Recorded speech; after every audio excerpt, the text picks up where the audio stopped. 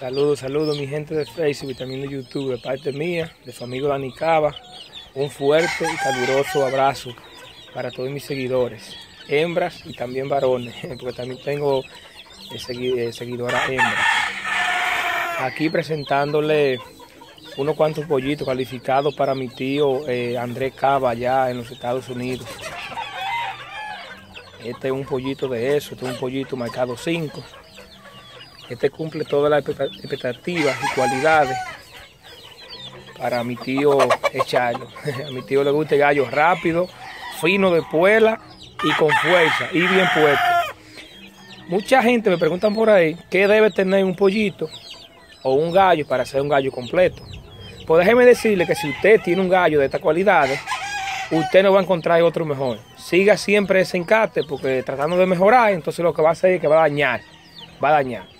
Por ejemplo, ahí tengo este pollito pava que es de mi tío Andrés Cava.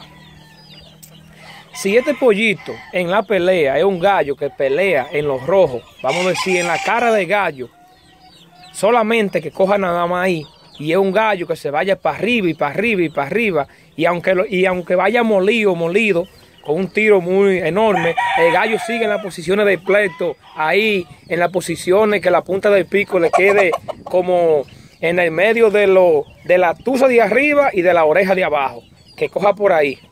Y que sea un gallo fino de puela, un gallo de fuerza y con esas cualidades, ese es un gallo completo. Entonces ya podrá haber otro igual que ese gallo, pero no mejor, porque entonces para ser mejor que este gallo, tiene que, tragar, tiene que tragarse contrario y eso nunca lo espere de ninguno.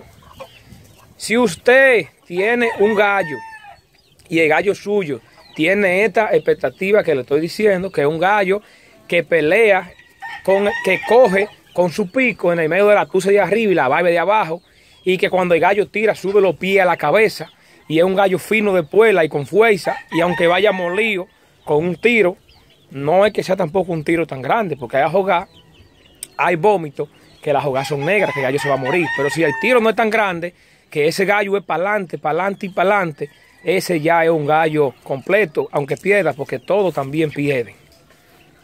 Todos los gallos del mundo pierden, ganan y entablan. Pero si usted tiene un gallo con estas cualidades, puede ser de un gallo sin pedigrí o puede ser como quiera y su gallo es completo. Recibí un mensaje que me había enviado un amigo mío diciéndome, Dani, yo tengo un gallo que me pinta bien, pero no tiene pedigrí. Y yo le dije ay, ¿qué tú quieres? ¿Uno con pedigrí que te pinte malo o uno sin pedigrí sin pelegrí, perdón, que te pinte bien. No, si usted tiene un encarte de gallo, pueden ser de Juan y Pedro y Juana, de gente que nadie conozca. Y si eso es lo que usted le da resultado y esos gallos pueden competir en, una alfombra limpia, en una valla limpia, ya no se salga de ahí, porque entonces mejorando lo que va a hacer que va a dañar. Porque el gallo mejor del el gallo mejor del mundo, ya eso nunca aparece. no. Pues nada, mi gente, se me cuida mucho por ahí. Y este es el primer video de los gallos, eh, de cuatro gallos de mi tío Andrés Cava allá en Estados Unidos.